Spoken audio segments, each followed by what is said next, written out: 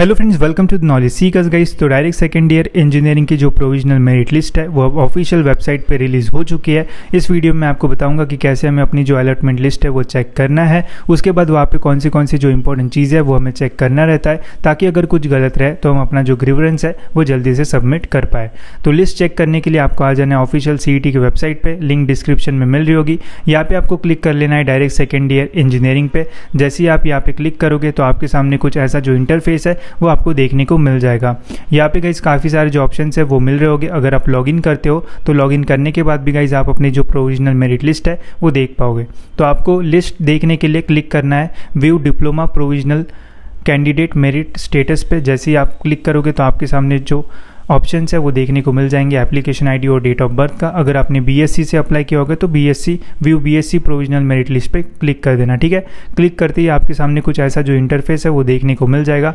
आपको यहाँ पे अपनी जो एप्लीकेशन आईडी है, वो डाल देना है। आपको फिर यहाँ पे डेट ऑफ़ बर्थ डाल देना है और कंटिन्यू पे कर लेना है क्लिक जैसे ही गाइज़ आप कंटिन्यू पे क्लिक करोगे तो आपको अपनी जो प्रोविजनल मेरिट लिस्ट है, वो देखने को मिलेंगे। जिसमें सबसे पहले तो आपको अपनी सारी जो डिटेल्स है, वो चेक कर लेना है, जैसे नाम कैटेगरी और भी बाकी सारी चीज़ें।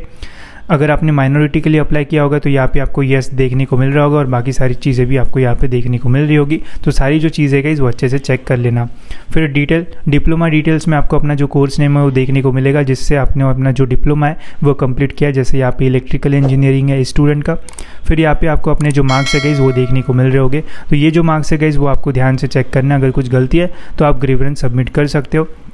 तो यहाँ पे मार्क्स वगैरह चेक कर लेना और फिर सबसे इंपॉर्टेंट आता है यहाँ पे मेरिट डिटेल्स तो मेरिट डिटेल्स में आपको अपने जो मेरिट नंबर है, वो देखने को मिल जाएँगे। ये जो मेरिट नंबर है गाइज़ ये थोड़े चेंज होने के चांसेस रहते हैं। जब फाइनल मेरिट लिस्ट आएगी, उसमें आपको थोड़ा बहुत जो चेंज है, वो देखने को मिल सकता है। बट इसके आसपास ही आपको अपना जो मेरिट नंबर है, वो फाइनल मेरिट लिस्ट में भी देखने को मिल जाएगा, ठीक है?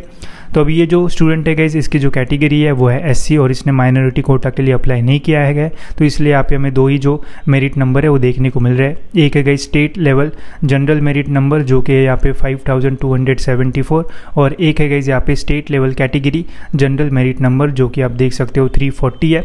ये इस स्टूडेंट का कैटेगरी है, ठीक है? अगर आपका ओबीसी कैटेगरी होगा तो आपको यहाँ पे ओबीसी कैटेगरी का जो आपको state level general merit number है वो देखने को मिलेगा। मीन्स उस कैटेगरी में आपका जो नंबर है वो कितना है, ठीक है? तो ये सारे जो आपको मेरिट नंबर है वो देखने को मिल रहे होंगे। अगर आपने माइनॉरिटी से अप्लाई किया होगा तो वो मेरिट नंबर आपको यहाँ पे देखने को मिल रहा होगा, ठीक है? ये सारे जो मेरिट नंबर है गाइज़ ये इंपॉर्टेंट रहते हैं। इसी से आपका जो एडमिशन है गाइज़ वो फिर आगे जाके होता है, ठीक है? इसके अलावा जैसे मैंने आपको बोला कि कौन सी चीज़ें चेक करना है आपको, ताकि अगर आपको ग्रीवरेंस देना है तो दे पाओ। तो आपको अपने जो मार्क्स वगैरह के, वो चेक कर लेना है प्लस आपको अपनी जो डिटेल्स है, वो भी चेक कर लेना है। इसके अलावा अगर आपको पूरी जो मेरिट लिस्ट है, वो देखना है तो उसके लिए आपको क्या करना है, आपको बस क्लिक कर लेना है view diploma provisional merit list all candidates इस पर अगर आप क्लिक करोगे तो आपको ऑल कैंडिडेट्स का जो मेरिट नंबर है, वो देखने को मिल जाएगा। सबसे पहले आपको यहाँ पे religious minority type linguistic minority type और फिर यहाँ पे आपको सारी जो चीज़ें है, वो देखने को मिलेंगी। जैसे लीजेंड शॉर्ट फॉर्म का फुल फॉर्म क्या होता है, वो आपको यहाँ पे देखने को मिल जाएगी। और पूरी जो मेरिट लिस्ट है, वो आपको देखने को मिल जाएगी, जिसमें आपको पता चलेगा कि फ़र्स्ट नंबर पे कौन सा स्टूडेंट है सेकेंड नंबर पर कौन सा स्टूडेंट है, और बाकी पूरा जो मेरिट लिस्ट है गाइज़ वो आपको यहाँ पर देखने को मिल जाएगा। ठीक है, अगर आपको बीएससी का चेक करना है तो view BSc provisional merit list पर क्लिक कर लेना और आप सारी जो चीज़ है, वो देख पाओगे। ठीक है तो ऐसे आपको अपनी सारी जो चीज़ है, वो चेक कर लेना है और जल्दी आपकी जो फाइनल प्रोविजनल फाइनल जो मेरिट लिस्ट है वो लगने वाली है, उसकी जो डेट है वो रहने वाली है सत्ताईस तारीख। सत्ताईस तारीख को कन्फर्म आपको पता चल जाएगा।